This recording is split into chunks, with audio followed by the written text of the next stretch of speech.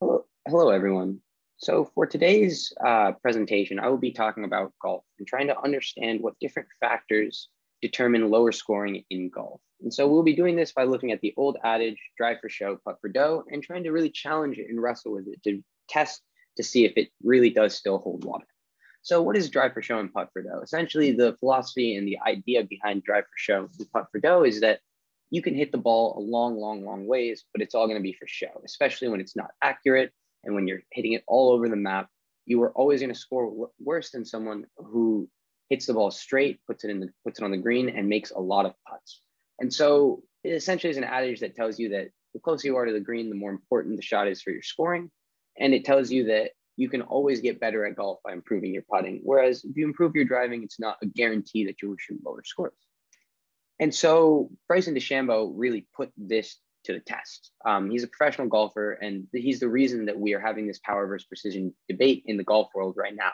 And that is because, as you can see in the images to the right here, the image on the left is Bryson DeChambeau pre-pandemic, and this is Bryson DeChambeau on the right post-pandemic. And as you can see, he's gained a lot of muscle, and he gained around 20 yards of driving distance, completely changing his philosophy, telling, saying that I'm no longer going to play golf for accuracy or for fairways. I'm going to hit the ball damn near as hard as I can and hit the ball on the green from there. Because the closer I am to the green, the better shot I have of shooting a lower score and making birdies.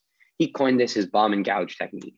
And bomb and gouge was something that was very, very wearily seen in the golfing world. Just like anything, anyone that takes a big risk in a field, it's always going to be a little bit, you know, suspect at the at the beginning. However, this all sort of dissolved when Bryson absolutely dominated the field at the US Open in 2020, which was one of the first major tournaments after the pandemic. He came out and he hit the ball further than anyone else and he won by eight shots. And so now the golfing world has taken notice. They want to really understand whether or not you know you can just improve your improve your scoring just purely by improving driving distance because this was something that was always believed to be an overrated skill in terms of the golfing world.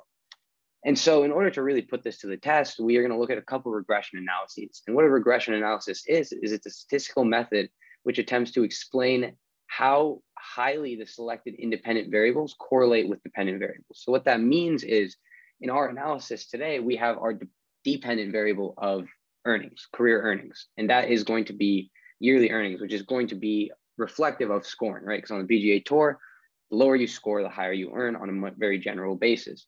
And so in this in these analyses, we want to understand how variables like putts, driving distance, and accuracy determine those earnings. So how much of that of that pie that is the career that is PGA Tour earnings is made up of driving distance, putts, and accuracy.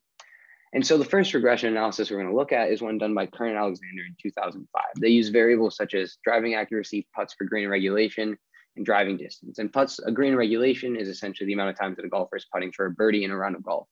And so when we look at the margin from these results that they that they got, you see that a 10% increase in driving distance leads to a $117,000 increase in earnings. And so this is a, a high and significant number, which again goes to show that increasing driving distance can in fact potentially improve improve scoring. However, what's important here, one of the very important factors in this is that having one less putt per round, just one less putt leads to a $319,000 increase on average per year. That's a that's by far the most important and influential aspect in terms of this regression analysis in terms of scoring. And that tells you that putt for dough is most certainly still valid and we still do make up a lot of our strokes on the greens. So after Kern and Alexander did their regression analysis, they did their analysis on uh, data from 1991 to 2000. And since then, there have been a lot, there's been a lot of new technology with launch monitors, which allow us to determine optimal launch conditions and use physics to our advantage in order to improve consistency and distance of all golfers without changing anything in their bodies or their swings.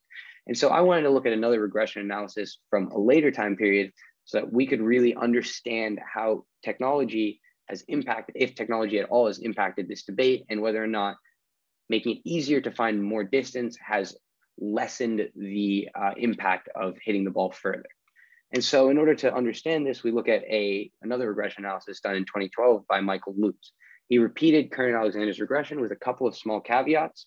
One being that he used strokes gained putting instead of putts per GIR, which is strokes gained is essentially how many strokes you gain on the field in that specific category per round. So if I have a two plus 2.0 strokes gained putting, that means on average per round, I gain two strokes putting on the rest of the field. And this is a statistic that's a little bit more clear cut in terms of estimating uh, how much putting is really impacting our scoring as opposed to putts per GIR.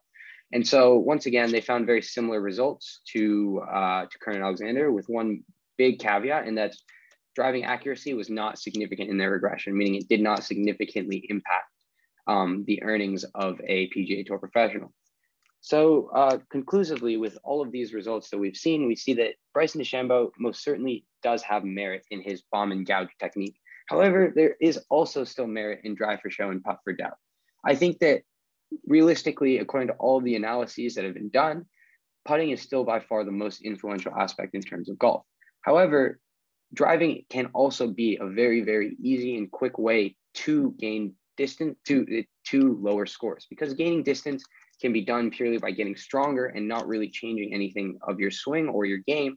Just hitting the ball further is proving to is, has been proven by Bryson and these analyses to lower your scores. So yeah, I mean it's a very very interesting debate, and I think that Bryson DeChambeau really really brought to the forefront what could be done in terms of in terms of golf and in terms of thinking about the way in which we we think about the game. Thank you.